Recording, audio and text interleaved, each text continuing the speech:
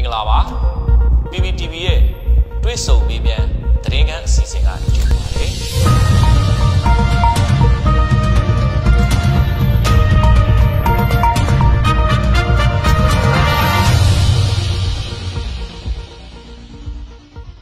မင်္ဂလာပါ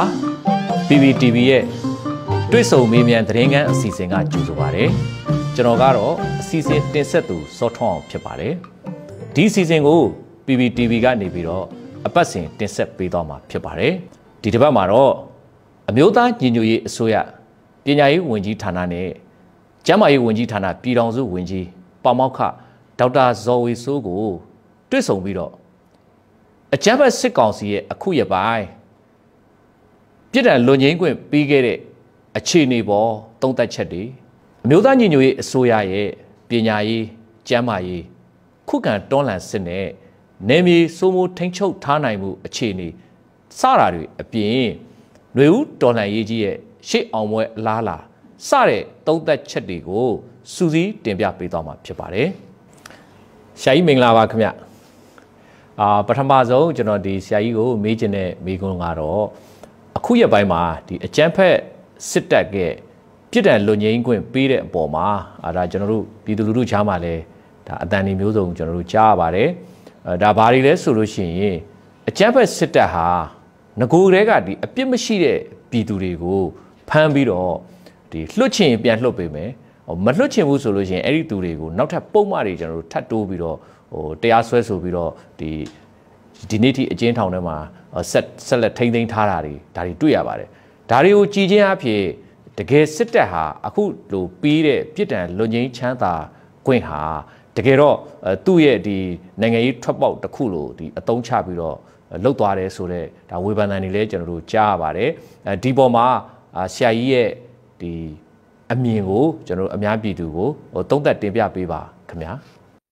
အာဟုတ်ကဲ့ပါဒါနဲ့ပတ်သက်ပြီးတော့ဟို NUG ပေါ့လေတမတာကြီးရော NUG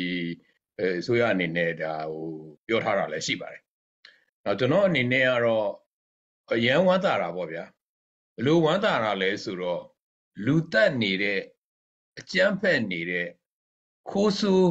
လူရဲ့နေတဲ့ဒီမရိန်းသမားရဲ့လက်ထဲကနေလွတ်လာတဲ့လူတွေလိုအယံဝမ်းသာတာသူတို့တွေအယံနှိမ့်ဆက်ခံနေရတာမတရားသဖြင့်ဒါသူတို့ဟာဒီလိုမျိုးနေရမယ့်လူတွေမှမဟုတ်တာနော်ဒီလိုဖန်စီထိမ့်သိမ်းခံရမယ်လို့လွတ်လွတ်လပ်လပ်နေရမယ်ဥပဒေနဲ့နေရမယ်လူကိုဥပဒေမဲ့အကြမ်းဖက် ဒီလိုဖန်စီပြီးနှိမ့်ဆက်နေတဲ့လူလက်ထဲကနေလွတ်လာတယ်ဆိုတာအယံဝမ်းသာတယ်သူတို့တည်းအယံဝမ်းသာတယ်ဒါပေမဲ့ကြံတဲ့လူတွေအတွက်ကျွန်တော်တို့ဒါအများကြီးဆက်ပြီးတော့လုပ်ဖို့လိုသေးတယ်ကြံတဲ့လူတွေအများကြီးကြံသေးတယ်လေကျွန်တော်တို့ဆရာတွေဆရာဝန်တွေသူနာပြုတွေနော်ဒီမှာခုလိုမျိုးပေါ့ဟိုဘာမှအဲမတရားဘာမှမလုပ်ခဲ့တဲ့လူတွေကိုမတရားသဖြင့်ဖမ်းဆီးပြီးနှိပ်စက်နေတာအခုလိုမျိုးဒီစစ်စေးစစ်ကြောရေးတွေမှာတတ်ပစ်တာတည်သွားတဲ့လူတွေအတွက်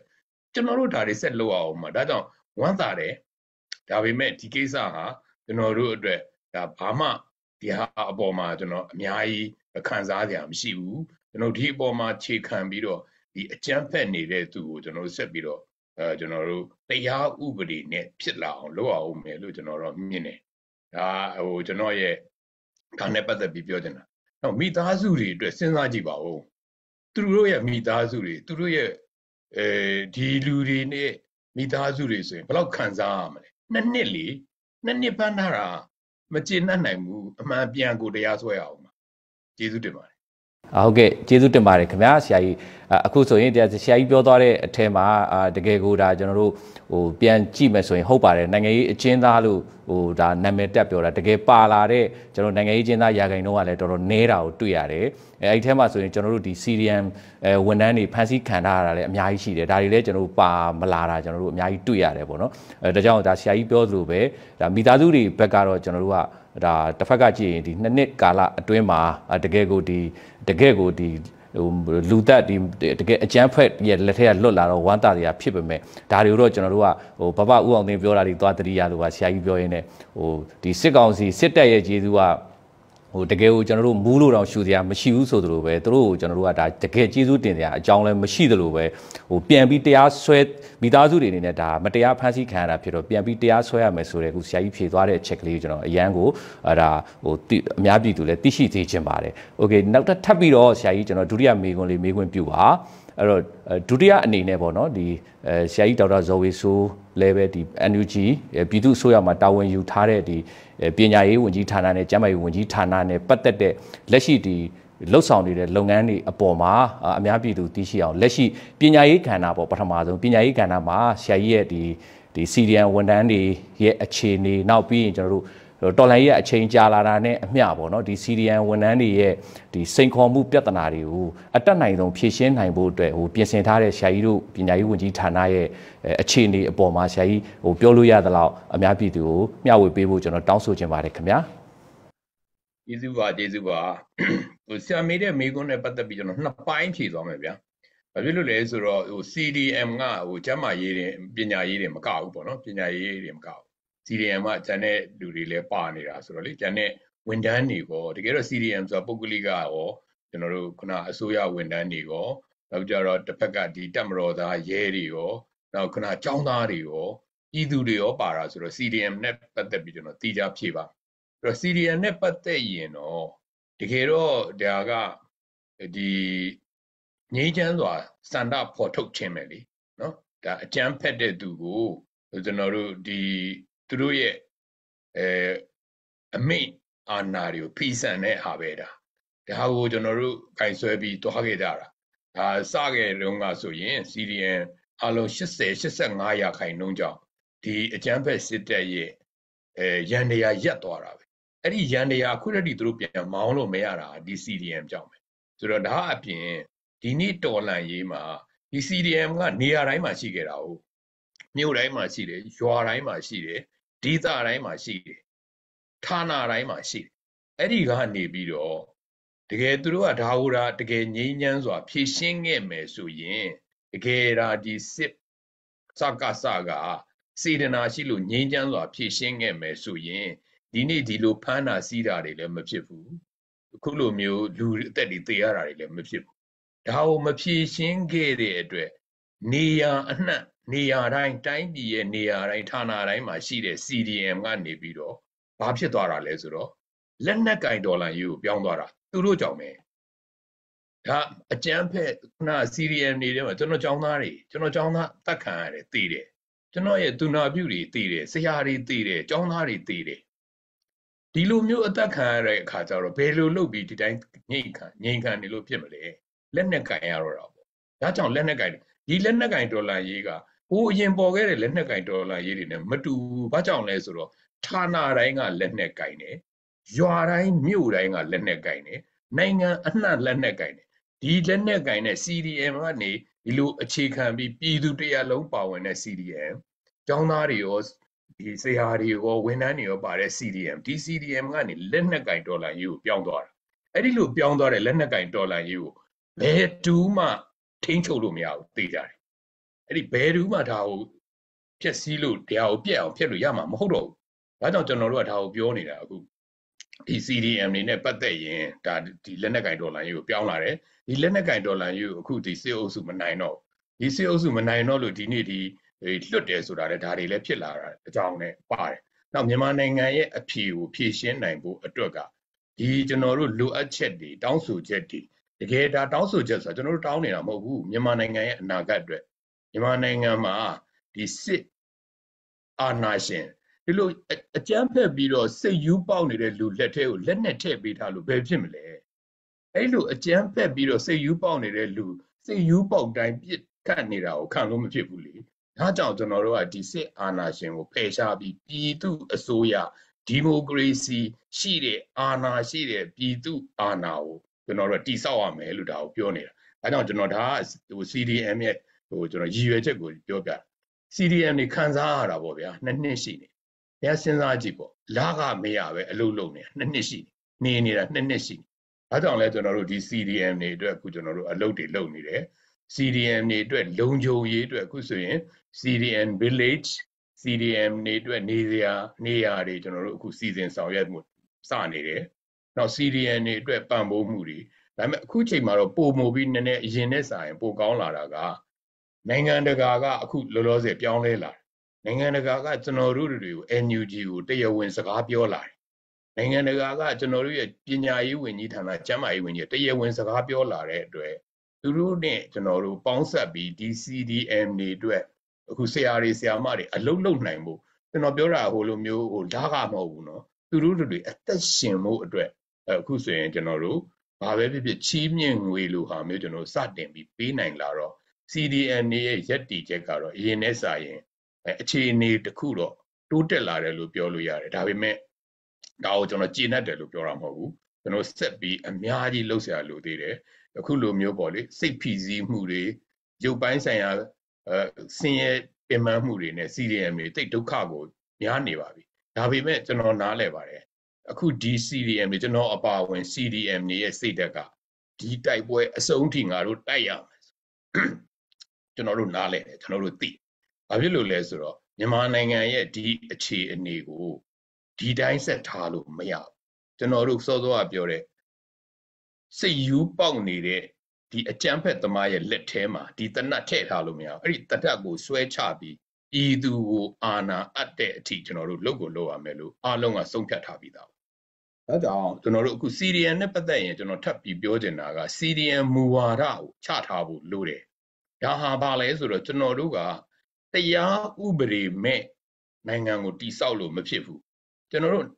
ယခုဒီအချိန်မှာရောအနာဂတ်မှာရောတရားနဲ့ဥပဒေနဲ့မူနဲ့ဝါဒနဲ့ဖြစ်ရ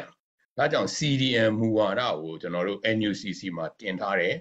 ဒါကိုကျွန်တော်တို့အခုဥပဒေနဲ့အညီ ကျွန်တော်တို့ CDM မူဝါဒပေါ်လာစေချင်တာဒါမှသာကျွန်တော်တို့တရားလက်လွတ်ဥပဒေမဲ့ CDN နဲ့ non CDN တွေပေါ်မှာကျင့်သုံးမှုမရှိမှာနောက်အနာဂတ်အတွက်ကျွန်တော်တို့ဒီ CDM တွေကိုချီးမြှောက်တဲ့လူကိုချီးမြှောက်ရမှာပဲချီးမြှောက်မှဖြစ်မှာဒီလူတွေဒီလောက်နှစ်နှစ်ခံစားထားပြီးပြီဒီလိုမျိုးစွန့်လွတ်ပြီးအသက်တွေရောဘဝတွေရောသူတို့ရဲ့ဒီ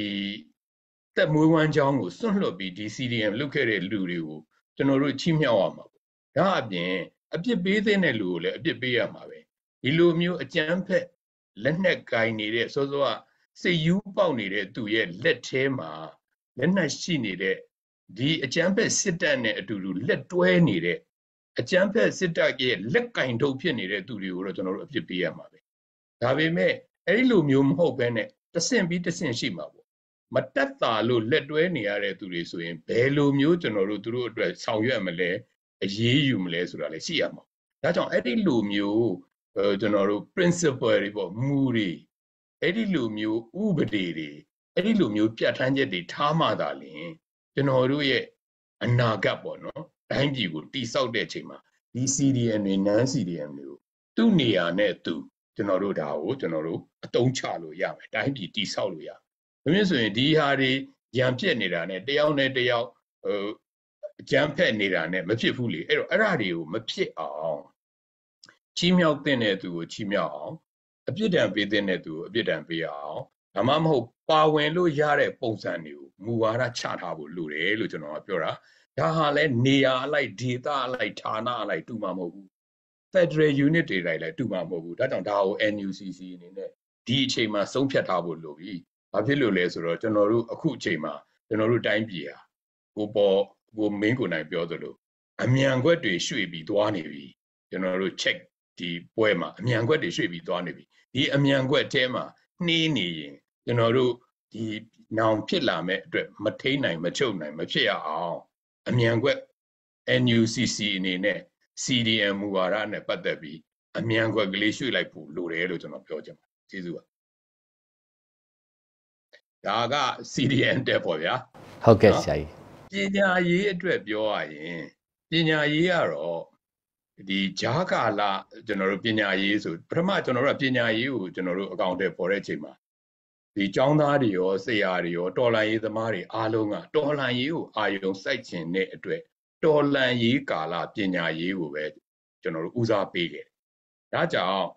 formal education လို့ခေါ်တဲ့ ဒီအတန်းတင်ပညာရေးကိုကျွန်တော်တို့မလုပ်ခဲ့ဘူး။ဒါအများရဲ့သဘောတူညီချက်နဲ့ကျောင်းသားတွေဆရာတွေမိဘတွေရဲ့သဘောတူညီချက်နဲ့ကျွန်တော်မလုပ်ခဲ့ဘူးဒါပေမဲ့အခုအချိန်မှာတော့တစ်နှစ်ရှိတဲ့အချိန်မှာကျွန်တော်စပြီးတရားကိုပြန်စဉ်းစားတယ်စဉ်းစားပြီးတော့ formal education အတန်းတင်ပညာရေးကိုကျွန်တော်တို့လုပ်တယ်ဟိုရှိတုန်းကတော့ကိုဗစ်ကလည်းရှိနေတော့ကျွန်တော်တို့ဒီနေအိမ်ခြေပြုပညာရေးကိုကျွန်တော်သွားခဲ့တယ်အခုကြတော့ကိုဗစ်ကလည်း control ရလာပြီနောက်ကြတော့စောစောကတစ်နှစ်လဲရှိလာပြီသူကြတော့ကျွန်တော်တို့အတန်းတင်ပညာရေးကိုဒါကြောင့်အခုကျွန်တော်တို့ပြန်သွားနေအဲ့လိုအကောင့်ထဲပေါ်တဲ့နေရာမှာကျွန်တော်တို့ data ၃မျိုးရှိတယ်အဲ့ဒါကျွန်တော်တို့ထိန်းချုပ်ထားတဲ့ data တွေပိုင်ပိုင်နိုင်နိုင်ထိန်းချုပ်ထားတဲ့ data တွေရှိတယ်အဲဟိုဘက်နဲ့ဒီဘက်ထိန်းချုပ်မှုကောင်းကောင်းမရတဲ့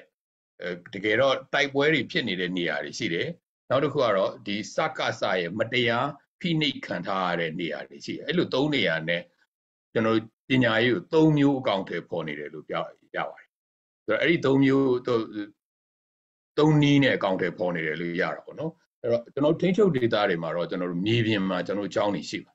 ဆိုတော့ conflict ဖြစ်နေတဲ့နေရာနဲ့ဖိနှိပ်ခံ data တွေမှာတော့ online နဲ့ကျွန်တော်တို့စူးစမ်းတယ်တချို့နေရာတွေမှာဒီမြေပြင် on ground တွေရောပေါ့နော် အဲ့တော့ဒီလိုမျိုးနဲ့ကျွန်တော်တို့စူးစမ်းပြီးအကောင့်ထဲပေါ်နေတယ်ဒါနဲ့ပတ်သက်ပြီးတော့အခုဆိုရင်ကျောင်းတွေပေါ့ဗျာကျောင်းတွေကျောင်းသားတွေပေါ့အခုဆိုရင်အဲကျောင်းသား online နဲ့တစ်သန်းလောက်ပေါ့နော်အားလုံးခုနမြေပြင်မှာလည်းကျွန်တော်တို့တစ်သန်းလောက်ကျွန်တော်တို့အခုစာသင်နေတယ်နောက်ကြတော့ကျောင်းပေါင်းအဲကျွန်တော်တို့တထောင်ခွဲလောက်ကျွန်တော်တို့ရှိတယ်နောက်ဒါအပြင်အဲကျွန်တော်တို့အဲအဆင့်မြင့်ပညာနဲ့ပတ်သက်ရင်အခုဆိုရင်ကျွန်တော်တို့ ဒီ Federal Unit တွေကနေပြီးအခြေခံပြီးတော့ဒီ Federal Unit တွေမှာပေါ့ဗျာခုန data တွေပေါ့ကချင်ကရကရင်ချင်းမွန်ရခိုင်ရှမ်းပေါ့အဲ့ဒီလို data တွေကိုအခြေခံပြီးတော့အခုက comprehensive university လို့ခေါ်ပါတယ်ဘာသာစုံပါဝင်တဲ့ subject အမျိုးစုံပါဝင်တဲ့တက္ကသိုလ်တွေကိုတည်ထောင်မှုစလုပ်နေတယ်တချို့စပြီးထောင်ပြီးတော့စပြီးသင်ကြားနေပြီဒါအဆင့်မြင့်ပညာမှာသင်ကြားနေပြီအဲ ကျွန်တော်တို့တူနာဖြူဆိုရင်လည်းပဲတူနာဖြူတက္ကသိုလ်တွေတောင်တချို့ပြည်နယ်တွေမှာစဖွင့်နေပြီတချို့ Federal Unit တွေမှာစဖွင့်နေဆိုတော့ဒါမျိုးတွေကျွန်တော်တို့လုပ်နိုင်တယ်အပြင် Open University ဆိုပြီးတော့ကျွန်တော်တို့ဒီ online နဲ့ဒီပြည်တွင်းနဲ့မကောက်ပြည်ပရောက်သွားတဲ့ထိုင်းတို့မလေးရှားတို့ဒီရောက်သွားတဲ့သူတွေအတွက်ပါအခုကျွန်တော်တို့ပညာသင်ကြားပေးတဲ့ဟာကိုလုပ်တယ် ကျွန်တော်တလောတုန်းကဆိုရင်ဒီရိုဟင်ဂျာတွေနဲ့ကျွန်တော်တို့ဆွေးနွေးပြီးရိုဟင်ဂျာတွေထဲမှာဒီရိုဟင်ဂျာကန့်တွေထဲမှာရှိနေတဲ့ကျောင်းသားတွေကို online ကျွန်တော်တို့အဆင့်မြင့်ပညာသင်တာတွေကိုကျွန်တော်စပြီးတော့လုပ်နေတယ်ဆိုတာဒါပညာရေးကလုပ်နေအဲ့ဒီဟာတွေကိုအခုဆိုရင်အရင်တော့သိခက်ခဲ့တယ်အခုကကျတော့နိုင်ငံတကာနဲ့ကျွန်တော်တို့စပြီးစကားပြောလို့ရလာတယ်သူတို့ရဲ့အကူအညီစပြီးရလာတယ်ရလာတော့အဲ့ပညာရေးအကောင့်ထဲပေါ်မှုတွေနဲ့အဲ့ဒီပညာရေးထဲမှာပါဝင်နေတဲ့ဆရာဆရာမတွေအတွက် ရက်တည်နိုင်ဖို့ကျွန်တော်တို့စောစောကပြောတယ်လာခမဟုတ်ဘူးချီးမြှင့်ငွေလိုဟာမျိုးသူတို့စားစရာနေစရာရတဲ့ဟာမျိုးခုစပြစ်လာတော့ကျွန်တော်တို့ CDN နေနဲ့ကျွန်တော်တို့တော်လှန်ရေးနဲ့ကျွန်တော်တို့ပညာရေးဟာအရင်နဲ့စာရင်ပုံမူပြီးခိုင်မာလာတယ်လို့ကျွန်တော်တို့ပြောချင်ကျေးဇူးပါ အာဟုတ်ကဲ့ပါဆရာကြီးခင်ဗျဟိုအခုလိုပြည့်ပြည့်စုံစုံဖြေချပေးတယ်အဲဒီထက်မှကျွန်တော်တို့ဒီအများပြည်သူတွေအတွက်လည်းအဲအချို့ message တွေအရန်ကိုကျွန်တော်တို့အားတက်ရပါတယ်ဟိုဆရာကြီးဖြေသွားတဲ့အထဲမှာဆိုလို့ရှိရင်ကျွန်တော်တို့ဒီဟိုနိုင်ငံတကာကကျွန်တော်တို့ဒီကျန်းမာရေးပညာရေးဝန်ကြီးဌာနတွေကိုကျွန်တော်တို့ဟိုပြည်သူအစိုးရကိုတရားဝင်ထိတွေ့ပြီးတော့ဟို ဆက်ဆံပြောဆိုလာတယ်ဒီထဲမှာပဲတခါစီရီယန်နေနဲ့ပတ်သက်ပြီးတော့လဲနိုင်ငံတကာကအာဒီဆက်သွယ်ပြီးတော့တရားဝင်အသိမှတ်ပြုပြီးတော့ကူညီဆောင်ရွက်ပေးမဲ့အစီအစဉ်တွေတွေ့ရတယ်ဆိုတော့ကျွန်တော်တို့ပြည်သူတွေကလည်းပဲတကယ်ကိုဒါအရန်ကိုစိတ်အားတက်စီပါတယ်အဲနောက်တစ်ခုဒီထဲမှာဝမ်းသာစရာတစ်ခုကတော့အခုဒီចောင်းသားပေါင်းပေါ့နော်ဒီကျွန်တော်တို့ NUG ပြည်သူအစိုးရအနေနဲ့ဒီចောင်းသားပေါင်းတသန်းလောက် ကိုဒါကျွန်တော်တို့မြေပြင်မှာလည်းပဲ on ground မှာလည်းတင်ကြားနေတယ်ဆိုတာအာသိရတယ်လို့ဟိုကြောင်းပေါင်း1000ခွဲလောက်ကိုလည်းပဲဒါအခုဆိုဒီပြည်သူ့အစိုးရအနေနဲ့ဖွင့်လှစ်တင်ကြားပေးနိုင်တယ်ဆိုတော့အာဒါကျွန်တော်တို့တကယ်ကိုပညာရေးနဲ့ပတ်သက်ပြီးတော့ပြည်သူ့အစိုးရရဲ့လှုပ်ဆောင်ချက်တွေကိုသိရှိခွင့်ရတဲ့အတွက်ဆရာကြီးကိုအရန်ကျေးဇူးတင်ပါတယ်ခင်ဗျာအဲ့တော့ဆက်လက်ပြီးတော့ကျွန်တော်ဒီဆရာကြီးတို့ဆောင်ရွက်နေတဲ့ကျန်းမာရေးဝန်ကြီးဌာနဘက်ကဒီကျန်းမာရေးနဲ့ပတ်သက်တဲ့ကဏ္ဍလေးကိုလည်းကျွန်တော်မေးခွင့်ပြုပါခင်ဗျာ အဲ့တော့ဒီကျမ်းမာရေးမှာဆိုလို့ရှိရင်လည်းပဲဒီလက်ရှိကျွန်တော်တို့ပြည်သူတွေကို NUG ပြည်သူအစိုးရအနေနဲ့ပေးနေတဲ့ကျန်းမာရေးစောင့်ရှောက်မှုအခြေအနေနောက်တစ်ခါကျွန်တော်တို့ဒီ တော်လှန်ရေးမှာပေါ့နော်ထိခိုက်တန်ရာရတဲ့ကျွန်တော်တို့ရဲ့ပြည်သူရဲဘော်တွေကိုဘယ်လိုတွေစေကူတာမှုတွေပေးနေတယ်လဲနောက်ပြီးလို့ရှိရင်ကျွန်တော်တို့ဒီအမျိုးသားညီညွတ်ရေးအစိုးရအနေနဲ့ရှေ့ဆက်ပြီးတော့ကျန်းမာရေးကဏ္ဍမှာဟိုဆောင်ရွက်ဖို့ရှိတဲ့အခြေအနေတွေဆရာကြီးပြောလို့ရသလောက်ကိုကျွန်တော်တို့အများပြည်သူကိုမျှဝေပေးဖို့ကျွန်တော်မေးလိုပါတယ်ခင်ဗျာကျေးဇူးတင်ပါတယ်ကျေးဇူးတင်ပါတယ်ကျန်းမာရေးနဲ့ပတ်သက်ရင်တော့ဒါကျွန်တော်ကဟိုခွဲစိတ်ဆရာဝန်လဲခွဲစိတ်ဆရာဝန်ကျွန်တော်ဟို အရင်တုန်းကလည်းဟိုအကြောင်းမှာပါမောက္ခချုပ်လည်းလုပ်ခဲ့တာနောက်ကျွန်တော်ကဒီဟိုကျမကြီးစောင့်ရှောက်မှုနဲ့ပတ်သက်ရင်ကျွန်တော်ကိုယ်တိုင်လည်းအများကြီးလုပ်ခဲ့တဲ့သူဆိုတော့တကယ်တော့ကျွန်တော်အားမရဘူးဗျအားမရဘူးကျွန်တော်ကတရားရာခိုင်နှုန်းကောင်းကျင်တဲ့သူပေါ့နော်ကျွန်တော်လူတရားစီးကူရဲ့လူတရားလုံးပျောက်သွားစေခြင်းနဲ့ကျမ်းမာစေခြင်းနဲ့သူအခုလိုမျိုးထိခိုက်ဒဏ်ရာလူတရားဖြစ်ရင်တရားလုံးထိခိုက်ဒဏ်ရာကိုကျွန်တော်က အကောင်းဆုံးကုကျင်တဲ့သူအတွက်တော့ဒီနေ့အခြေအနေကိုကျွန်တော်မကျင်တတ်ဘူး။ဒါပေမဲ့ကျွန်တော်တို့အစွမ်းကုန်တော့စူးစမ်းနေတယ်။ဘာဖြစ်လို့လဲဆိုတော့ဒီဒေါ်လာရေးကိုစခဲ့တာစခဲ့တဲ့တဲမှာပါဝင်ခဲ့တဲ့ဒီ CDM ဆရာဝန်တွေသူနာပြုတွေ CDM ကျန်းမာရေးဝန်ထမ်းတွေဟာဒီနေ့ထိဒီဒေါ်လာရေးမှာဆွဲဆွဲမြဲမြဲပါဝင်နေကြတဲ့အတွက်ဒီကျန်းမာရေးစောင့်ရှောက်မှုကျွန်တော်တို့အကောင့်ထဲပေါ်တဲ့နေရာမှာကျွန်တော်တို့ထင်သလောက် ကျွန်တော်တို့ဒုက္ခမရောက်ဘူးဆိုတာတော့ဒါအရင်ဆုံးပြောချင်တယ်အခုဆိုရင်ကျွန်တော်တို့ဒီ mobile ကျွန်တော်တို့မှာအဲဒီကျန်းမာရေးနဲ့ပတ်သက်ရင်အဓိကကတော့ဟို၃ပိုင်းရှိတယ်လို့ပြောရင်နံပါတ်1ကတော့တိုင်းရင်းသားကျန်းမာရေးစောင့်ရှောက်မှုတွေဒါအခုရင်ကနေရရှိပြီးသားတိုင်းရင်းသားအဖွဲ့အစည်းတွေမှာလက်နက်ကိုင်အဖွဲ့အစည်းတွေနဲ့တိုင်းရင်းသားတော်လှန်ရေးအဖွဲ့အစည်းတွေမှာဟိုးအရင်ကနေကကျန်းမာရေးစောင့်ရှောက်မှုကရှိခဲ့ပြီးသား 1988နောက်ပိုင်းပိုအားကောင်းလာတယ်အဲ့ဒီအားကောင်းလာတဲ့ကျန်းမာရေးစောင့်ရှောက်မှုတွေကအရင်တည်းကရှိတော့ရာနဲ့ကျွန်တော်တို့ကလက်တွဲပြီးအလုပ်လုပ်တယ်ဒါကြောင့်ဒီတိုင်းရင်းသားတွေရဲ့လွတ်မြောက်ဒေသတွေမှာကျွန်တော်တို့တွေဒီ CDN ဆရာဝန်သူနာပြုဆရာမတွေခုနလိုဝန်ထမ်းအနေနဲ့တစ်ဖက်ကတိုင်းရင်းသားကျန်းမာရေးစောင့်ရှောက်သူတွေဟာလက်တွဲပြီးအတူတူအလုပ်လုပ်တဲ့အတွက်အဲ့ဒီနေရာတွေရဲ့ကျန်းမာရေးစောင့်ရှောက်မှုကအရင်တုန်းကထက်တောင်ကောင်းလာတယ်လို့ပြောလို့ရတယ်။ဘာဖြစ်လို့လဲဆိုတော့ ဥပမာအဖြစ်အရင်တုန်းကဆိုရင်ကျွန်တော်တို့ကြော်ယိုခွဲစိတ်တာတို့ဟိုအုံနောက်ခွဲစိတ်တာတို့ဒီကြံတဲ့အရေးကြီးတဲ့မကြောက်ကတ်ခွဲစိတ်တာတို့ကိုကျွန်တော်တို့အရင်တော့အဲ့လိုနေရာတွေမှာလုပ်ဖို့သိခက်ခဲ့တယ်။အခုဟာက CDM specialist တွေရှိတယ်။ကျွန်တော်တို့မှာ CDM specialist ပေါင်း400ရှိတယ်။400ကျော်ရှိတယ်။အဲ့ဒီဟာကြောင့်ကျွန်တော်တို့ဒါတွေလုပ်နိုင်တယ်။ဒါကြောင့်အဲ့ဒီဒီတိုင်းရင်းသားတွေရဲ့ကျန်းမာရေးစောင့်ရှောက်မှုအရင်ပေးခဲ့တဲ့နေရာတွေမှာဆိုရင် ပိုတော်ကောင်းလာကျွန်တော်ဒါကိုဆက်ထိန်းထားခြင်းနဲ့နောင်တိုင်းပြည်ကျွန်တော်တို့ဒီအကျန်းဖက်ဒီအယူရဲ့လက်နဲ့ကင်ထားတဲ့အယူလက်တွေကလွတ်လာတဲ့နေ့ကြရင်ကျွန်တော်အဲ့ဒီနေရာတွေရဲ့ကျန်းမာရေးကိုတိတက်ကောင်းအောင်လုပ်ချင်တယ်လုပ်လို့ရလိမ့်မယ်လို့လည်းမြင်တယ်ဒါကနံပါတ်1နေရာနံပါတ်1နံပါတ်2ကတော့ကျွန်တော်တို့ဒီစစ်ဖြစ်နေတဲ့နေရာတွေပေါ့ဗျာတိုက်ပွဲဖြစ်နေတဲ့နေရာအဲ့ဒီတိုက်ပွဲဖြစ်နေတဲ့နေရာတွေအတွက် ဒီလိုမျိုးအရေးပေါ်ကျန်းမာရေးစောင့်ရှောက်မှုတွေကိုကျွန်တော်တို့လုပ်တယ်အဲ့ဒီမှာ mobile team အလုံး250ကျော်ရှိတယ်ကျွန်တော်တို့မှာနောက်ပြီးကြတော့ဒီရှေ့တန်းဆေးရုံရှေ့တန်းဆေးရုံဆိုတာသူကရွှေ့လို့ပြောင်းလို့လွယ်လွယ်ကူကူရွှေ့လို့ပြောင်းလို့သူကစစ်ကြောင်းထိုးလာတယ်မီးရှို့တယ်ဆိုကျွန်တော်တို့မြန်မြန်ရွှေ့လို့ပြောင်းရှေ့တန်းဆေးရုံပေါင်း168ရုံရှိတယ်ကျွန်တော်တို့အခြေစိုက်ဆေးရုံပေါင်း52ရုံရှိတယ်ထပ်ပြီးအသစ်ဆောင်နေရတယ်ရှိဆိုအဲ့ဒီနီးနဲ့ဒါက အရေးပေါ်ကျန်းမာရေးစောင့်ရှောက်မှုကိုပေးတယ်။နောက်ကျွန်တော်တို့ဒီ PDF တွေ PDF တိုင်းအရေးပေါ်စေးကုသမှုပေါ့ဗျာ။သွေးထွက်ရင်သွေးတိတ်အောင်လုပ်တာ။ခုနဒဏ်ရာရရင်ပတ်တီးစီးတာပေါ့။အဲအဲ့ဒီလိုမျိုးလုံနိုင်ဖို့အတွက် PDF တိုင်းကိုတရက်တရက်ခွဲဒါရှေးဥဒုနာပြုစုညီတင်ပေးတယ်။ဒါအဲ့ဒါတွေဆက်ပြီးခုလည်းတင်နေတယ်။နောက် PDF 10ယောက်15ယောက်ရှိတိုင်းကျွန်တော်တို့ဆေးတက်သားတစ်ယောက်ရှိအောင် သူတို့ကို၃ဘက်ကနေ၄ဘက်အထိကျွန်တော်တို့သင်တန်းနေပေးတယ်။နောက်တက်ရင်တရင်မှာဆိုရင်ဆေးမှုရှိရ။အဲ့တော့ဆေးမှုတယောက်အတွက်ကျွန်တော်တို့အဲသူနာပြုတော်လကောင်နာကျမကြီးအရင်တော့သင်တန်းနေတက်ထားတဲ့သူကိုဆေးမှုသင်တန်းပေးပြီးကျွန်တော်တို့ထားထားတယ်။ပြီးရင်တော့တဆင့်ပြီးတဆင့်ကျွန်တော်တို့ဆရာဝန်တွေအထူးကူတွေနဲ့စောစောအခြေစိုက်ဆေးရုံတွေထိရောက်သွား။ဆိုတော့အဲ့ဒီလိုပုံစံမျိုးကိုကျွန်တော်တို့အခုဆိုရင် ကာကွယ်ရေးဝန်ကြီးဌာနနဲ့ကျန်းမာရေးဝန်ကြီးဌာန MOD နဲ့ကျွန်တော်တို့ MOH နဲ့ပေါင်းပြီးတော့ကျွန်တော်တို့အဲ့ဒါတွေလုပ်နေတယ်ဆိုတော့ဒါကအရေးပေါ်စောင့်ရှောက်မှုအတွက်နောက်တစ်ခုကတော့ပြည်သူလူထုရဲ့ကျန်းမာရေးစောင့်ရှောက်မှု primary health care secondary health care လို့ခေါ်တယ်ကျန်းမာရေးစောင့်ရှောက်မှုတွေကိုလည်းအခုကျွန်တော်တို့လုပ်နေတယ်အခုဆိုရင်ကျွန်တော်တို့ရွာတိုင်းရွာတိုင်းမှာကျန်းမာရေးအသိစိတ်ဓာတ်ရှိပြီးကျမ်းမာရေးသူကတော့ဆရာဝန်လို့သူနာပြုလို့စိတ်ကူနိုင်မှာမဟုတ်ဒါပေမဲ့သူကသိမယ် ဟာဒီလူတွေဝင်းလျှောတယ်ဒါဆိုရင်တော့ဘယ်ကိုအကြောင်းကြားမယ်ဆိုအဲ့ဒီလိုမျိုးပေါ့လေသူအသိစိတ်တဲ့ရှိတဲ့သူတူအနည်းဆုံးတစ်ယောက်နှစ်ယောက်ရှိအောင်ကျွန်တော်မွေးတဲ့လုပ်ငန်းစလုပ်စလုပ်နေပြီတင်တန်းနေကျွန်တော်တို့ပေးပြီဒါကိုနောက်ပြီးတော့စောစောကဒီမိခင်ကလေးဆောင်လျှောက်တာတို့ကြောင်းကျမ်းမာရေးတို့နော်ဒီခုနကုဆက်ယောဂါတို့နောက်ခုကာကွယ်ဆေးထို့ဒီလုပ်ငန်းတွေကိုကျွန်တော်တို့အခုဆိုရင်စတင်ပြီးတော့အကောင့်ထဲပေါ်နိုင်လာပြီ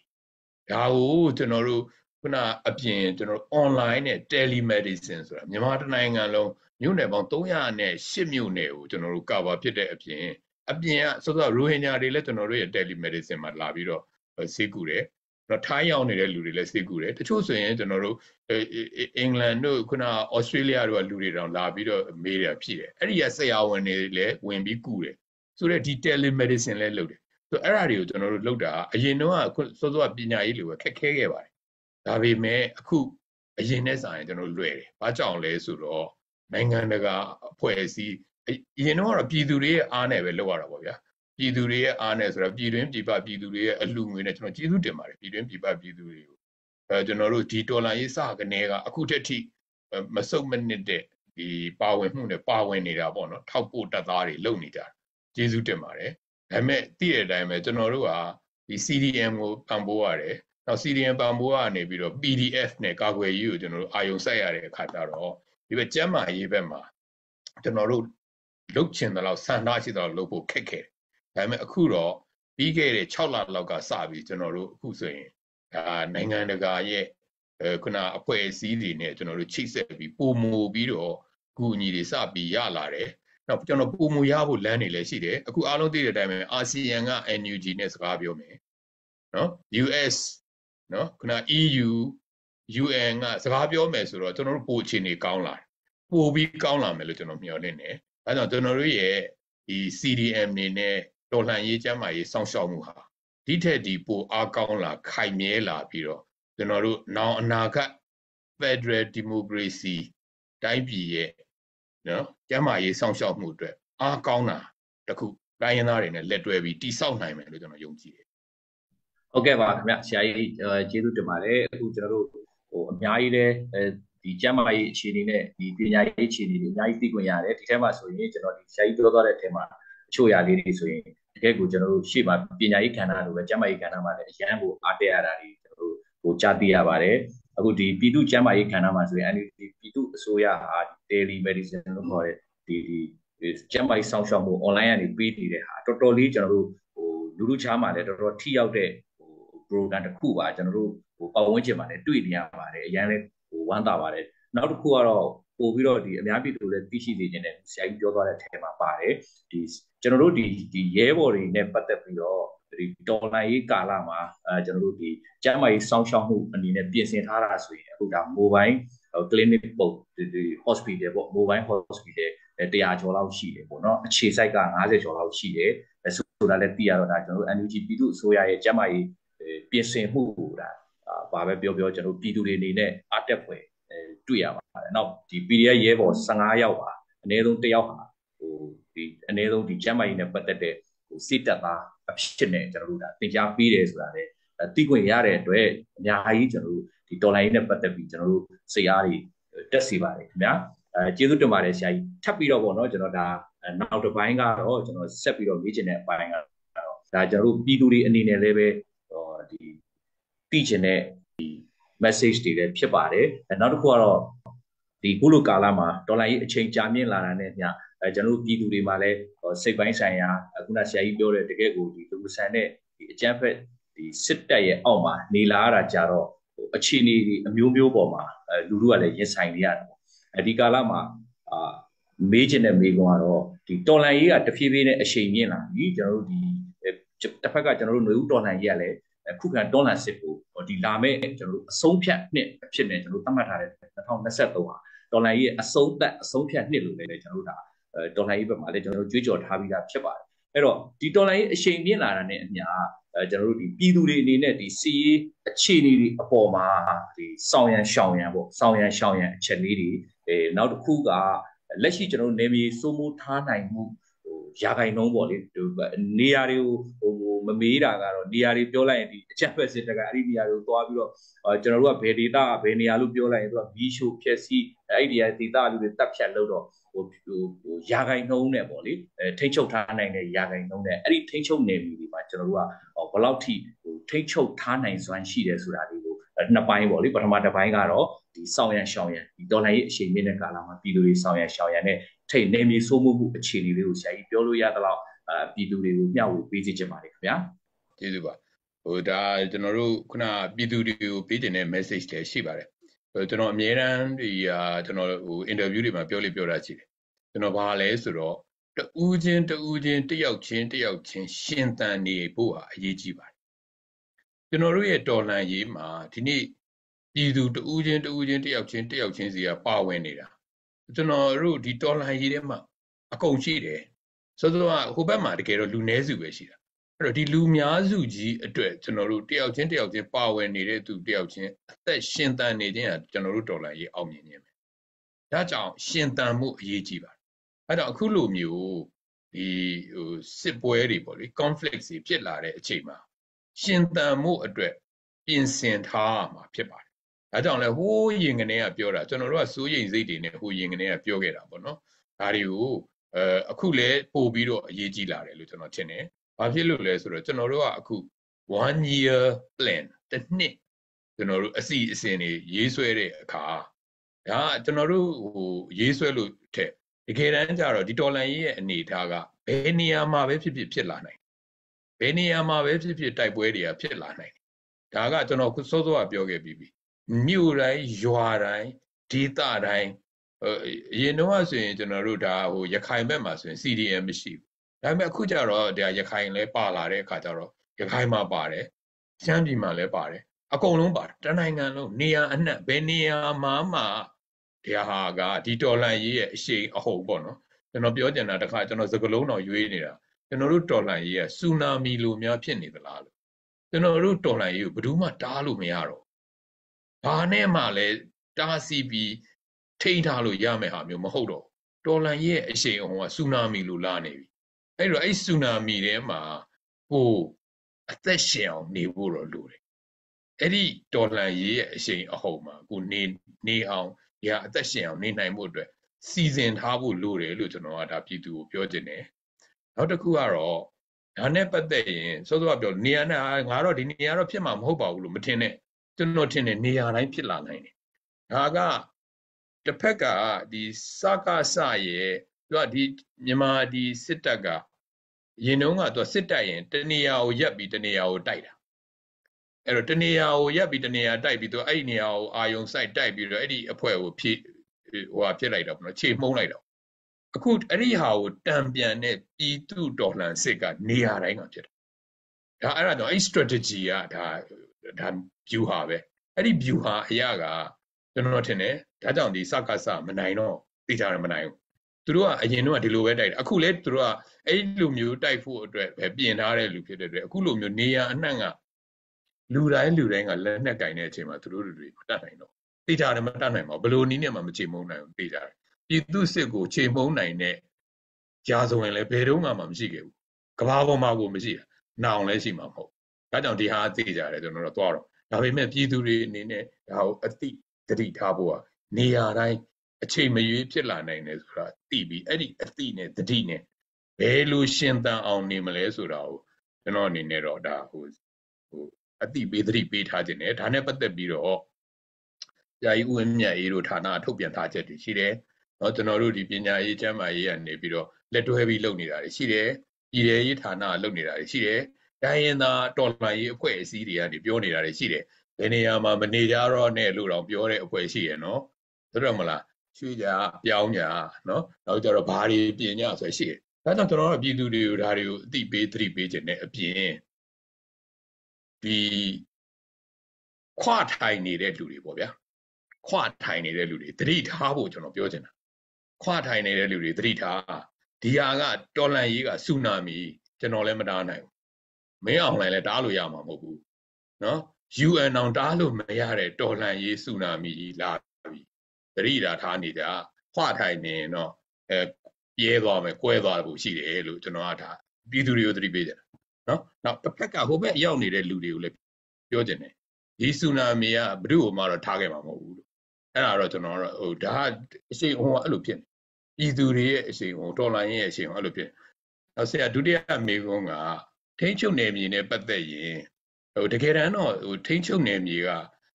တကယ်တော့ဟိုကျွန်တော်တို့ဟိုလက်နဲ့နဲ့ထိန်းချုပ်ထားတာကတော့လက်နဲ့နဲ့ထိန်းချုပ်တဲ့ဒေသတွေပေါ့ဗျာအဲ့ဒါတွေကနော်ကျွန်တော်တို့ဟာဒီနေရာကိုတော့ကာကွယ်ထားနိုင်ပြီတနက်နဲ့ကာကွယ်ထားနိုင်ပြီဆိုတာကတော့အခုပြောသလိုပေါ့ NUG ကကြေညာတာရှိသလိုဟိုဟို SACN ပေါ့ဒီဒီအဲနိုင်ငံတကာကနေပြီးတော့မြန်မာပြည်ကို assess လုပ်ထားပြီးရေးထားတာရှိတယ်52%လို့ရေးထားတာရှိတယ် 52ရာခိုင်နှုန်းဆိုအခုတော့ပိုတော့များနေရောမယ်။ဘာလို့ဆိုတော့ဟိုအဲ့ဒီဟာ KNU မတိုက်ခင်ကရေးထားတဲ့ဟာ KNU ကအခုစတိုက်နေပြီဆိုတော့အဲ့ထက်ပိုများမှာပေါ့။ရခိုင်ကမတိုက်ခင်ကရေးထားတဲ့ဟာရခိုင်နဲ့ KNU ကတိုက်နေပြီဆိုတော့ပိုများမှာပေါ့ကျွန်တော်ထင်တော့60ရာခိုင်နှုန်းကျော်ပြီနဲ့တွေ့။ဒါကလက်နဲ့နဲ့ပြည်သူရဲ့အားနဲ့ထိန်းထားတာတရားရာခိုင်နှုန်းမှာမြန်မာပြည်မှာပြည်သူရဲ့အားနဲ့ထိန်းတာအဲ့ဒါဟာအဓိကပဲအဓိကကဒါပဲ အဲ့တော့ပြည်သူအားနဲ့ထိန်းထားတဲ့မြန်မာနိုင်ငံကိုဘယ်နဲ့နယ်မြေဘယ်လောက်ထိန်းထားလဲတရားရာခိုင်နှုန်းထိန်းထားပါတယ်တရားတော့မကပါဘူးเนาะပြည်ပမှာရှိနေတဲ့မြန်မာတွေရောဆိုကျွန်တော်တို့တရားရာခိုင်နှုန်းကြော်တယ်ဒီဒေါ်လာရေးမှာပြည်သူထိန်းထားတဲ့နယ်မြေကတရားရာခိုင်နှုန်းကြော်တယ်เนาะခုနကလက်နဲ့နဲ့ထိန်းထားတာပြောမယ်ဆိုရင်တော့60ရာခိုင်နှုန်းလောက်ရှိလိမ့်မယ်လို့ကျွန်တော်ထင်တယ်ဒါကပုံများလာမှာအခုဆိုရင်ကျွန်တော်တို့တွေနဲ့ဒါခုနကကျွန်တော်ပြောလိုက်တဲ့ဥပမာနှစ်ခုเนาะ ဟိုကရင်ဒေသတို့ရခိုင်ဒေသစဉ်းစားကြည့်ကျွန်တော်တို့တွေနဲ့ဒီညီကိုတွေနဲ့လက်တွဲလို့ရတယ်လက်တွဲနေပြီကျွန်တော်တို့ကဒီမှာအတူတူလေးရီမန်းချက်အတူတူသွားတာရီမန်းချက်ကရှင်းရှင်းလေးရယ်ရီမန်းချက်ကစောစောကစိတ်ယူပေါက်နေတဲ့လက်နဲ့ကင်ထားတဲ့အကျန်းဖက်ဒီလူတွေကိုကျွန်တော်တို့ဖယ်ထုတ်ပြရအောင်ဒီလိုမျိုး လူတယောက်ရဲ့လက်လက်ထဲမှာလက်နဲ့ရှိပြီးပြစ်ချင်တိုင်းပြစ်ခတ်ချင်တိုင်းခတ်သူစိတ်ကူးမတည့်ရင်မပေါက်ရင်ဒီလိုမျိုးအကြမ်းဖက်နေတဲ့သူလက်ထဲကိုအာနာထားလို့ပဲရမလဲအဲ့ဒါလူတိုင်းသိတယ်အဲ့ဒီအာနာမရှိတဲ့နေ့ဟာကျွန်တော်တို့တိုင်းပြည်ငြင်းချမ်းတဲ့နေ့ပေါ့အဲ့ဒီလိုမျိုးစစ်ယူပေါက်နေတဲ့လူဒါကြောင့်စစ်တပ်ရဲ့လက်ထဲကိုအာနာထားလို့မရလက်နဲ့ကင်ရဲ့လက်ထဲကိုအာနာထားလို့မရဒါကတကဘာလုံးသိတဲ့ theory အဲ့ဒီ theory ကိုအခုကျွန်တော်တို့ဒါအကောင့်ထဲပေါ်နေတာအဲ့တော့အဲ့လိုလက်နက်ကင်အဖွဲ့အစည်းတွေကအာဏာရတဲ့လက်နက်ကင်အဖွဲ့အစည်းတွေနိုင်ငံရေးမှာပါလို့မရဘူးလေအဲ့ဒါကိုဖယ်ရှားရမယ်ဆိုတာတိုင်းရင်းသားတွေရောဗမာတွေရော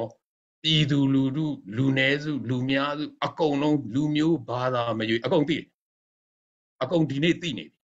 အကုန်ဒီနေ့အဲ့ဒီကိုသွားနေပြီဒါကြောင့်ဒီခုနကပြောတဲ့ စစ်တပ်ရဲ့လက်ထဲကိုအာဏာထားလို့မရှိဘူးရအောင်ဒါကြောင့်စစ်တပ်ကိုကျွန်တော်ပြောချင်တယ်အဲ့ဒီလက်နက်ကိုအခုအချိန်မှာချလိုက်စစ်တမ်းရကိုပြန်ပြည်သူလက်ထဲကိုအာဏာအပ်လိုက်ဒီနေ့ကျွန်တော်တို့တိုင်းပြည်အေဂျင့်သွားလိမ့်ဟုတ်ကဲ့ပါဆရာကြီးကျေးဇူးပါအခုဆိုဆရာကြီးပြောသွားတဲ့ဒီဒီကျွန်တော်မေးတဲ့နှစ်ပိုင်းပါဆိုရင်ပထမတစ်ပိုင်းကကျွန်တော်တို့ဒီဒီတော်လှန်ရေးနဲ့ အဲပတ်သက်ပြီးတော့ပြည်သူတွေအတွက်ပေါ့နော်အဓိကဒီရှင်းတန်အောင်မွေးဖို့ပေါ့အခုဒေါ်လာကြီးကလည်းတကယ်ဆူနာမီလိုပဲအရှိန်အားကောင်းကောင်းနဲ့လာပြီးအဲဒါဟာပြည်သူတွေအနေနဲ့အဓိကဒီတော်လှန်ရေးမှာကျွန်တော်တို့ရှင်းတန်အောင်မွေးဖို့ဒါဆရာကြီးရဲ့ message ပေးသွားပါတယ်နောက်ထပ်ဒီထိချုံနယ်မြေနဲ့ပတ်သက်လို့ဆိုရင်ဒါတကယ်ဒီနိုင်ငံတကာအာဒီမြန်မာဒီအခြေအနေထိချုံနိုင်မှုကိုရခင်ဒီຢာတွေမတိုင်ခင်တည်းကစောင့်ကြည့်တဲ့အဖွဲ့တွေရဲ့ research ကအဲ 52%ပေါ့အခုဆိုတာအဲထပ်ပြီးတော့ဒီစစ်ပွဲတွေ PNU ပေါ်ဆောင်နေတဲ့ထိန်းချုပ်နိုင်တဲ့အခြေအနေတွေနောက်တခြားတိုင်းသား EAO ရဲ့အခြေအနေတွေနဲ့ပေါင်းမယ်ဆိုရင်ဒါ60ကျော်လောက်ထိကျွန်တော်တို့ဒါထိန်းချုပ်နိုင်တယ်ဆိုတာဒါလက်နက်နဲ့ထိန်းချုပ်တာလို့ဒီလိုမျိုးဟိုကျွန်တော်နားလဲရပါတယ်အဲနောက်တစ်ပိုင်းကတော့တကယ်အားရှိစရာကတော့ဒါပြည်သူတွေအကုန်လုံးကိုလည်းဆရာကြီးပေးသွားတဲ့ message မှာကျွန်တော်တို့ကတကယ်ကို ပြည်သူထိန်းချုပ်တာ100%မှန်ပါတယ်ကျွန်တော်တို့ဒါနေရာတိုင်းမှာပြည်သူတွေဟာဒီနေ့အထိစစ်ကောင်စီကိုလက်ခံတဲ့ပြည်သူဆိုတာဒါတကယ်ကိုအ ਨੇ စုဆိုတာမပြောပါတော့ပါဘူးဒါကြောင့်ဒါဆရာကြီးပြောသွားတာအဲကျွန်တော်ထောက်ခံပါတယ်အဲ့တော့ဟိုနောက်တစ်ပိုင်းပေါ့လေကျွန်တော်ဆက်ပြီးတော့ဆရာကြီးမေးခွန်းပြုပါနောက်ထပ်တစ်ခုကတော့ဒါပြည်သူတွေလည်းစိတ်ဝင်စားမယ်လို့ထင်ပါတယ်နောက်ပြည်သူတွေကိုလည်းအဲတည်စေခြင်းနဲ့ဆရာကြီးတို့ရဲ့တရင်စကားလေးတွေကိုလည်းကျွန်တော်တို့ဒါအာပေးချင်တဲ့အတွက်ဒီမိကုန်းလေးမေးတာပါဒါကတော့ဗာလဲဆိုရင်အခုဒီ အကြမ်းဖက်စစ်တပ်ကဒီအသေးအတန်စူးစမ်းနေတဲ့ဒီဟို2023မှာလုပ်မဲ့ဒီအတုရောင်ရွေးကောက်ပွဲ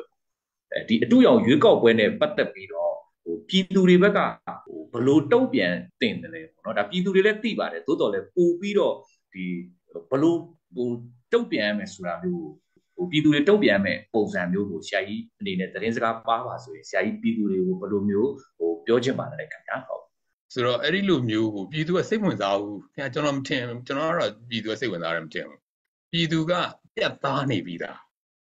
ပြည်သူတွေကိုကျွန်တော်က message ပေးရမှာမဟုတ်ဘူးပြည်သူတွေကပြတ်သားနေပြီသားဆိုတာကိုခင်ဗျားတို့အဲ့ဒီဟိုဘက်ကလူတွေကို message ပေးရမှာပြည်သူတွေကပြတ်သားနေပြီသားရှင်းနေပြီသားလေပြည်သူကဒီဒေါ်လာရေးကိုလှုပ်တာကွာဘာကြောင့်လှုပ်တာလဲမဲမတမာမှုဖြစ်တယ်ဆိုပြီးမဟုတ်တန်တရားလိန်ညာလို့နော်လက်နဲ့ရှိတဲ့လူကဆိုတော့ကျွန်တော်ပြောခဲ့ပြီပေါ့ဗျာ ဒီလက်နဲ့ကင်ထားတဲ့လူကဒီသူ့ရဲ့ရှိနေတဲ့လက်နဲ့နဲ့အကြမ်းဖက်ပြီးဓာကြီးကိုခင်ဗျဖျက်ဆီးပစ်လိုက်တာလေဗျာအဲ့တော့ဒီဟာဘယ်လိုလုပ်ပြီးဒီအကြမ်းဖက်ဒီလက်နဲ့ကင်ထားတဲ့လူကလူသက်သမားကလုပ်တဲ့ရွေးကောက်ပွဲကဘယ်လိုလုပ်ပြီးခင်ဗျပြည်သူကဓာကိုမဲပေးမလဲဗျာအဓိပ္ပာယ်မရှိဘူးသူတို့ကထားလိုက်တော့ဒါပေမဲ့သူတို့ကတော့စောစောကပြောသလိုပဲခင်ဗျပြောတာဟုတ်ပါတယ်သူတို့ကတော့ရတဲ့နီးနဲ့လုံမှာပေါ့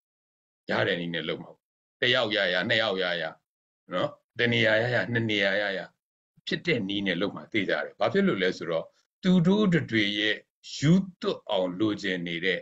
အာနာနဲ့ယူသွတ်အောင်လိုချင်နေတဲ့ဒီအုပ်ချုပ်မှုသူတို့ဒီနီးနဲ့ဒါတော့ရှာမှာပဲနိုင်ငံတကာကိုသူကဒါနဲ့ပြမှာ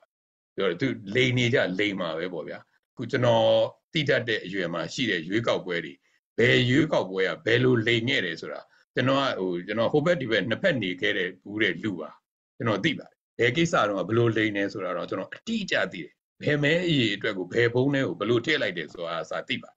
ဆိုတော့ကျွန်တော်တရားကိုမပြောချင်တော့ဘယ် referendum တော့ဘယ်လိုလုပ်ခဲ့တယ်ဆိုတာကျွန်တော်မပြောတော့အဲ့တော့ဒီဟာလည်းအတူတူပဲပေါ့ဗျာဆိုတော့ကျွန်တော်တို့ပြည်သူတွေလွတ်ရမယ်ဟာပြည်သူတွေကလွတ်မှာပြည်သူတွေလွတ်ရမယ်ဟာဆိုကျွန်တော်ပြောတာမဟုတ်ဘူးเนาะဒါတော့ခင်ဗျားမေးတဲ့မေးခွန်းကိုကျွန်တော်ပြည်သူတွေကိုပြောစရာမလိုဘူးပြည်သူတွေကသူ့အတူသွားနေပြီ ပြည်သူတွေကသိတယ်နော် NUG ကတော့သိကြမှာသိမှာပြည်သူတွေကသိတယ်ဘာလုပ်ရမလဲနော်ဆိုတော့ကဘာကြီးကတော့သိမသိမသိဘူးပြည်သူတွေကသိတယ်အဲ့တော့ပြည်သူတွေကအခုကျွန်တော်တို့ရဲ့ strategy တွေဖြစ်တဲ့နိုင်ငံတကာကိုနိုင်ငံတကာဖိအားတွေပုံများလာအောင်ပြည်သူတွေကပြည်သူတွေရဲ့ဆန္ဒပေါ်ထုတ်တာကျွန်တော်တို့အခုဆိုရင်အဲကျွန်တော်တို့ဟာဆန္ဒတွေ955ရက်စက်တိုက်ပြတယ်ဆိုတဲ့ဟာမျိုးကဘာမှာရှိဘူးလားခင်ဗျားရှာတွေ့ရင်ကျွန်တော်ပြောစမ်းပါ ခမရာဇဝင်ထဲမှာပြန်ရှာလိုက်955ရက်မပြည့်စန္ဒဖော်ထုတ်တဲ့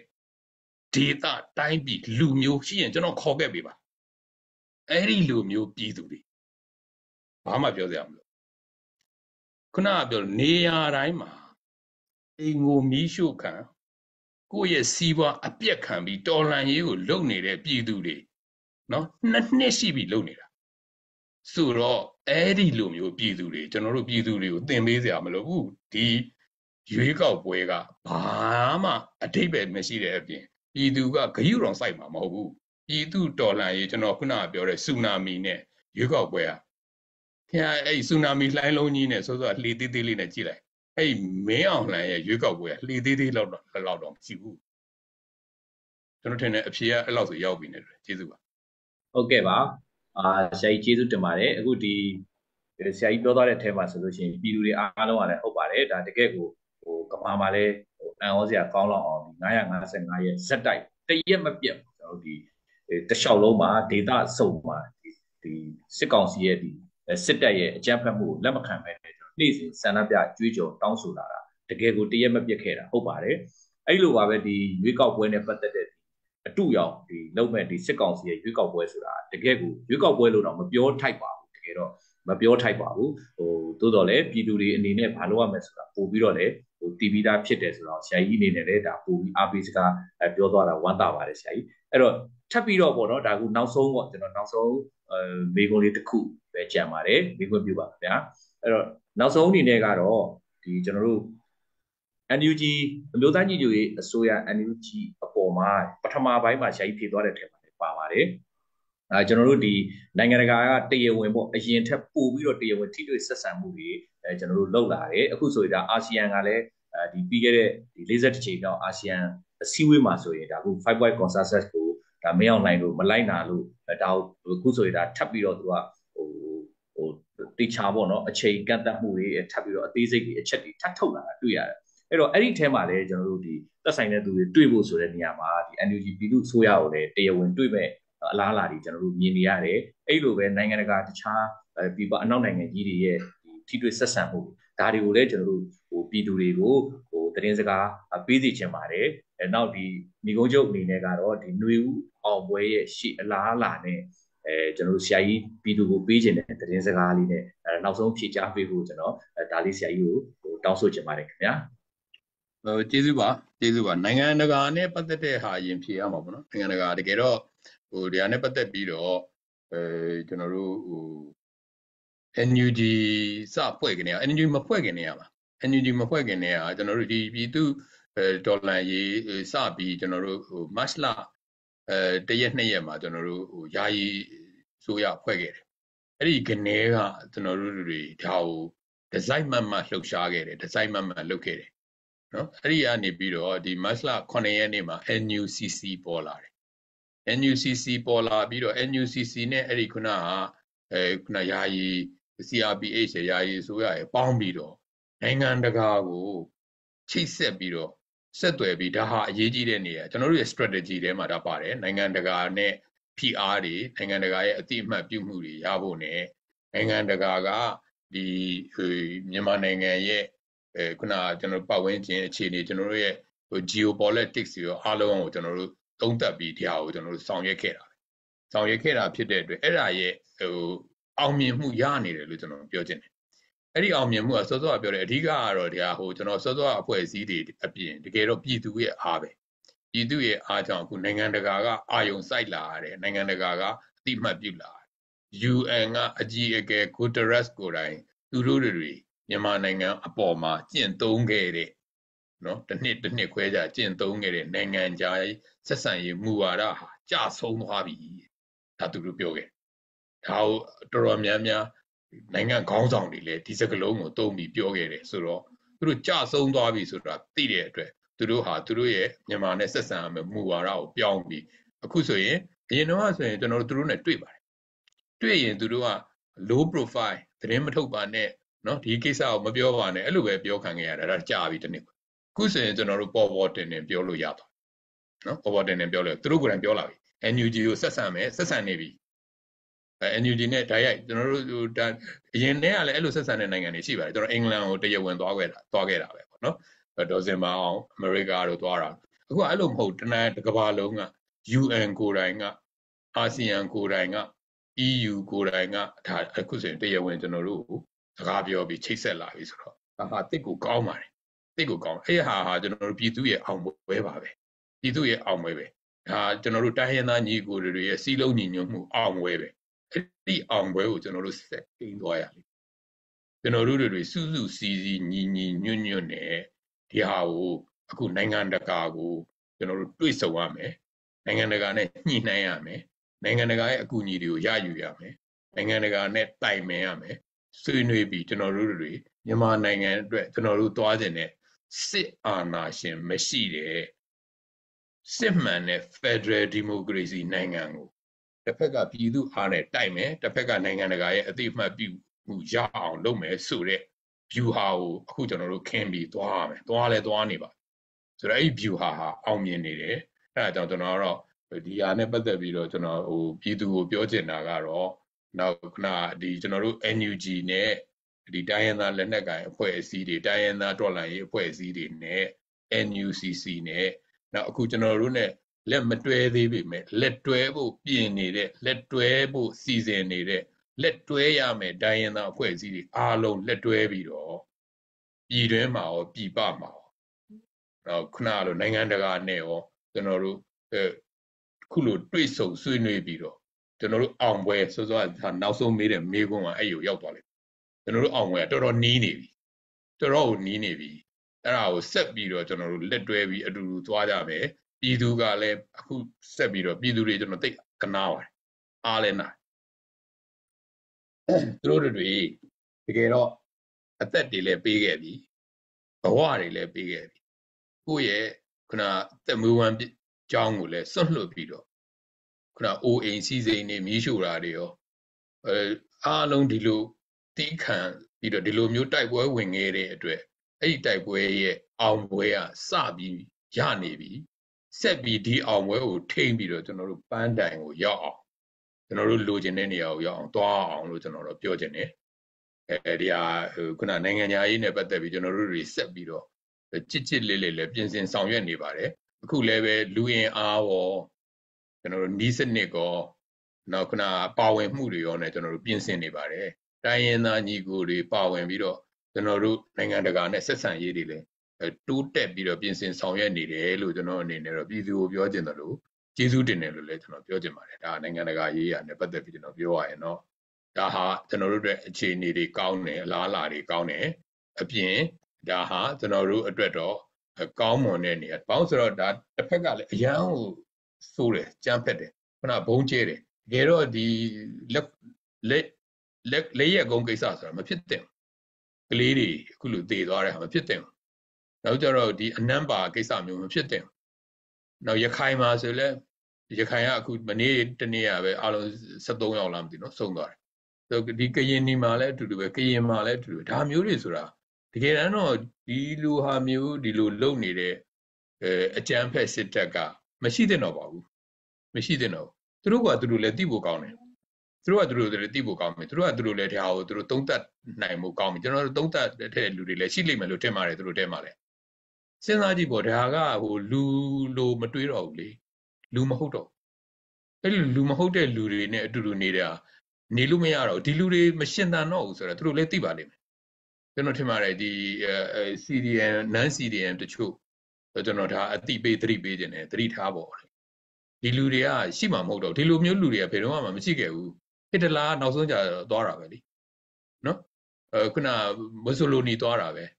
ဆဒန်ဟူစိန်သွားတာပဲမသွားတဲ့လူမရှိပါဘူးနော်မသွားတဲ့လူမရှိဘူးအခု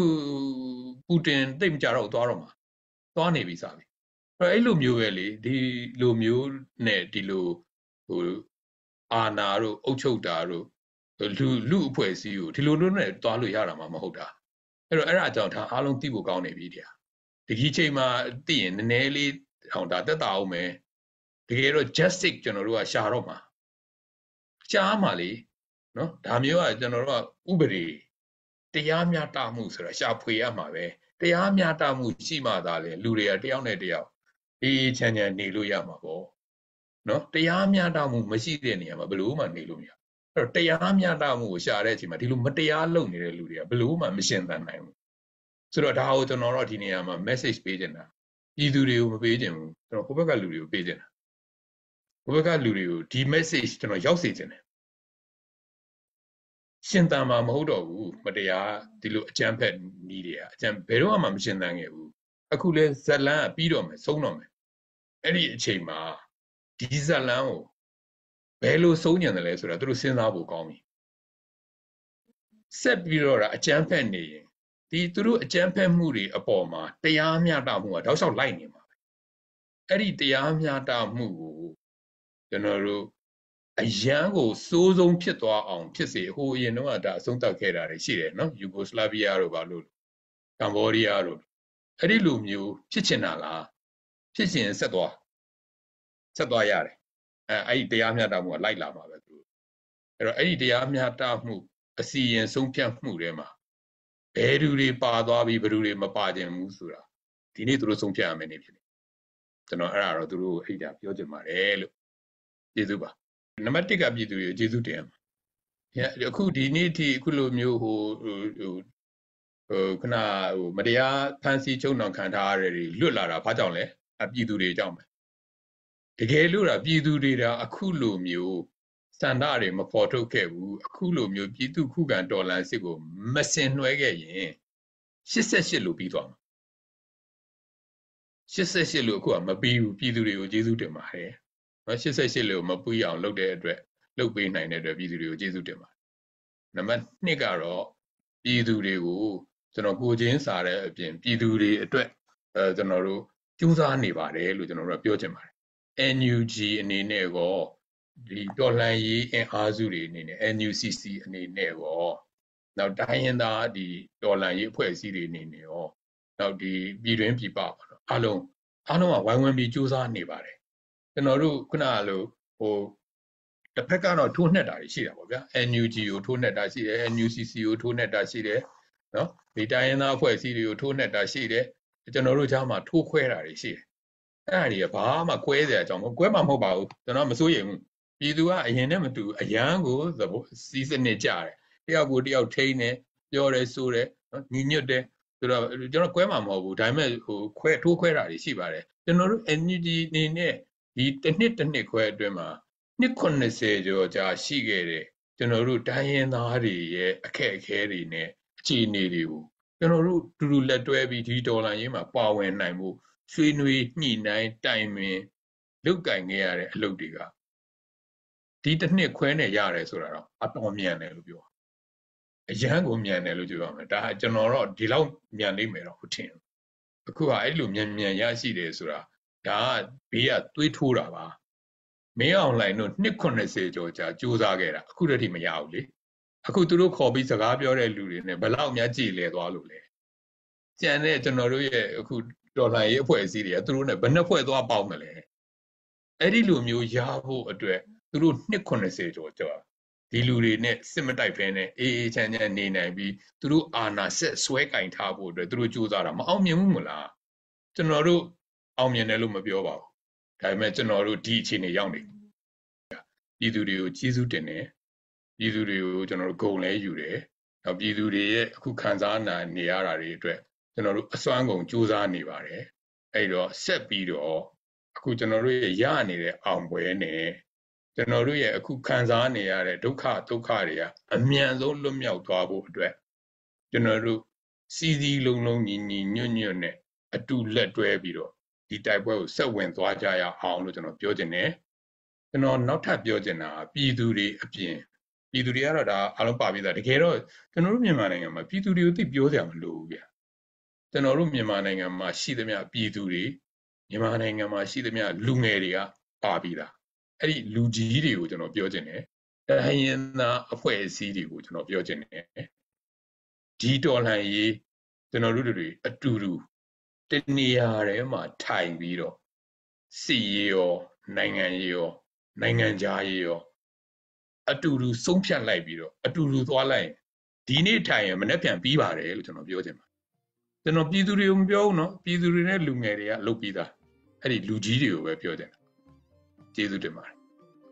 အာဟုတ်ကဲ့ပါဆရာကြီးအရန်ကိုကျွန်တော်တို့ဒီပြည်သူတွေအတွက်အရန်စိတ်ခွန်အားတွေလည်းဖြစ်စေပါတယ်အခုလို့ကျွန်တော်တို့ဒီ PPTV ရဲ့တွေ့ဆုံမေးမြန်းသတင်းခန်းအစီအစဉ်မှာအချိန်ပေးပြီးတော့မားမလတ်တဲ့ຢာကနေပြီးတော့ဟိုပြည်သူတွေကိုဟိုအတိဟို message သတင်းစကားတွေအဲပေးသွားခဲ့တဲ့ အမျိုးသားညီညွတ်ရေးအစိုးရရဲ့ပညာရေးဝန်ကြီးဌာနနဲ့ကျန်းမာရေးဝန်ကြီးဌာနပြည်ထောင်စုဝန်ကြီးပေါမောက္ခဒေါက်တာဇော်ဝေဆိုးကိုအထူးပဲကျေးဇူးတင်ပါတယ်ခင်ဗျာဟုတ်ကဲ့ပါအခုလို့ PPTV ရဲ့တွေ့ဆုံမေးမြန်းသတင်းခန်းအစီအစဉ်ကိုကြည့်ရှုနေကြတဲ့ပြည်သူများအနေနဲ့လည်းအမျိုးသားညီညွတ်ရေးအစိုးရ NUG ကိုအကြံပြုကျင်တာမိကုံများမေးမြန်းကျင်တာရှိရင်ဒီအစီအစဉ်ရဲ့အောက်မှာ comment များရေးသားပြီးတော့မေးမြန်းခဲ့လို့ရပါတယ် ဒီထဲကအလင်းသင့်တယ်လို့ပြည်သူများကိုစား PPTV မှတဆင့်ဆက်သွယ်မေးမြန်းနိုင်အောင်စ조사ဆောင်ရွက်သွားပါမယ်အစီအစဉ်ကိုအစအဆုံးကြည့်ရှုပေးကြတဲ့အတွက်အားလုံးကိုကျေးဇူးတင်ပါတယ်ခင်ဗျာ